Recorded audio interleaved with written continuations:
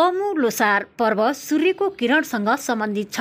गुरुङ बाहुल्य रहेको क्षेत्रमा सूर्यको ताप पहिले आउने भएकाले पुस पन्ध्रमा यो पर्व मनाउने गरिएको गुरुङ समुदायको दाबी छ। हरेक वर्षको पुस पन्ध्रमा गुरुङ वर्ग वर्ष फेरिन्छ। पुस पन्ध्रलाई उनीहरूले नयाँ वर्ष र जातीय पर्वका रूपमा मनाउँछन्। पुस पन्ध्र गतेको रात सबैभन्दा लामो हुने र यसपछिका रात घट्दै जाने भएकाले पनि यस पर्वको महत्त्व रहेको मान्यता छ। म चन्द्रकला गुरुङ। म चाहिँ यो राष्ट्रिय आदिवासी जनजाति महिला महासङ्घको निपूर्व अध्यक्ष हो र यो राष्ट्रिय गुरुङ महिला तम महिला सङ्घको यो पचहत्तर जिल्लाको चाहिँ अध्यक्ष छु यो तम लोसारको चाहिँ यो हाम्रो दुई वर्ष चाहिँ भएन कोरोनाको उले गर्दाखेरि। र अहिले चाहिँ भव्यताका साथ अब हाम्रो भाषा धर्म संस्कार संस्कृतिलाई जोगाउनको लागिले चाहिँ हामीले यो निरन्तर दिनुपर्ने हो। दुई वर्ष हामीले गर्नु सकेन। यो पालि चाहिँ राम्रोसित गर्नुपर्छ भनेर हामी सबै संस्थाहरू नै मिलेर चाहिँ यो मूल आयोजक समिति आज गर्दै यो पर्वमा विशेष कर्मकाण्ड केही हुँदैन। बिहान सबेरै उठेर नुहाइ धुवाइ गरी चोखो भएर कुल देवता अर्थात् पितृ पूजा गरिन्छ।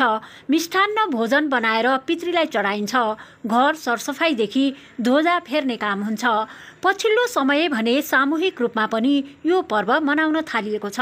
काठमाडौँ उपत्यकामा भने टुँडी खेलमा विशेष कार्यक्रमको आयोजना गर्ने गरिएको छ। गत वर्ष कोरोना कहरका कारण रोकिएको महोत्सव यस वर्ष भने टुँडी खेलमा तामझामका साथ मनाए।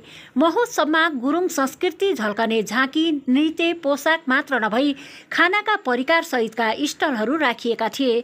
यस्ता महोत्सवहरूले गैर तमु समुदायलाई मात्र नभई नयाँ तमु पुस्ताका लागि इतिहास जान्ने मौका दिलाउँछ। त्यसैले पनि यस्ता पर्वहरूको संरक्षणमा जोड दिन आवश्यक छ। एकताको सूत्र बाँध्नुपर्छ सबैमा सद्भाव राख्नुपर्छ सबै मिलिजुली गएर हामी एकता भएर उभिनुपर्छ। अनि यो हाम्रो संस्कृतिलाई बचाउनुपर्छ। हाम्रो भेषभाष भूषाहरू चाहिँ हामीले लोभ हुनु दिनु हुँदैन। यस पर्वमा आफ्ना चेलीबेटी छर छिमेक दाजुभाइ जम्मा हुने आफ्नो नाता सम्बन्ध सबैलाई एक ठाउँमा राखेर पारिवारिक तथा सामाजिक सम्बन्ध बलियो पार्ने सामाजिक र सांस्कृतिक परम्पराको संरक्षण गर्ने गरिन्छ। यसले माइती र चेलीबीचको सम्बन्धलाई मजबुत बनाउँछ।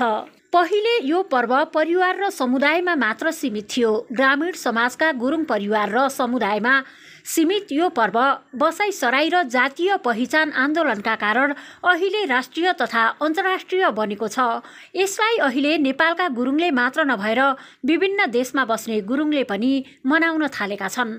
त्यसो त मानिस वर्षभरि काममा व्यस्त हुने र कृषि याममा समय नहुने हुँदा हिउँदको फुर्सदमा दाजुभाइ छोरीचेली इष्टमित्र छरछिमेकी साथीभाइ सबै एकै ठाउँमा भेला भएर खाने बस्ने र रमाइलो गर्न थालेपछि यो पर्वले व्यापकता पाउन थालेको जानकारहरू बताउँछन्।